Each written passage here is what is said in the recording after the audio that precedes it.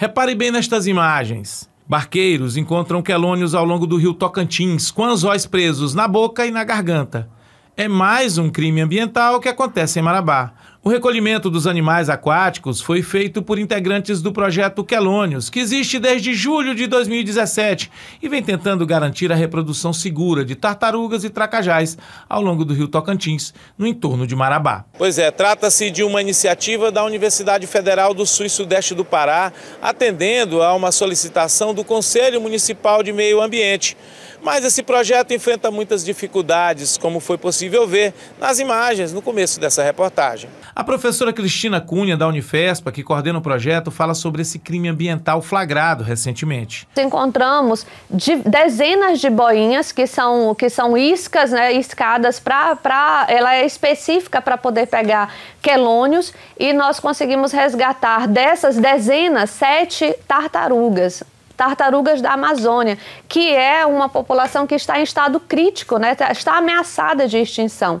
É, isso é ruim né, para nós é ruim, principalmente para as tartarugas, porque quando o anzol ele engancha na, na garganta delas, é difícil de tirar. Felizmente, nós conseguimos fazer, né, dessas que vieram, é, nós conseguimos fazer a retirada do anzol com a parceria da Fundação Zoobotânica, dos profissionais da, da, da, da, de veterinários né, dessa instituição, e foi feita a retirada dos anzóis, elas estão aqui no tanque para poder ser libertas novamente ao ambiente natural. E uma, o anzol, ele foi para o sistema digestório e essa, esse, essa tartaruga, ela está lá na Fundação Zoobotânica para poder ter o acompanhamento do veterinário e o monitoramento de como que vai ficar a situação dela.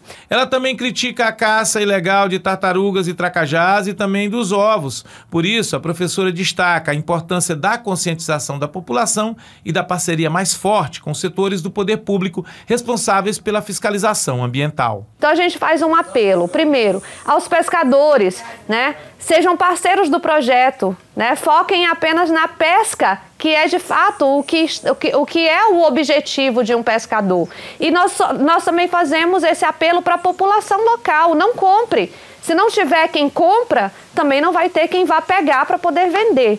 Né? E fazemos o apelo aí para os órgãos fiscalizadores que estejam no Rio junto com a gente, porque nós não somos órgão fiscalizador. Nós somos uma universidade junto com outras organizações, com o apoio aí do Conselho Municipal de Meio Ambiente, do Fundo Municipal de Meio Ambiente de Marabá, que desenvolve esse projeto. Então nós precisamos que os outros parceiros eles estejam junto com a gente.